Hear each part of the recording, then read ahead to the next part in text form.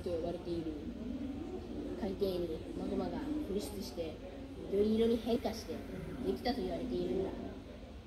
僕のような石は久米島の南にたくさんあって久米島石と呼ばれている。貴重な石材として沖縄県にいろいろなところで使われているよ。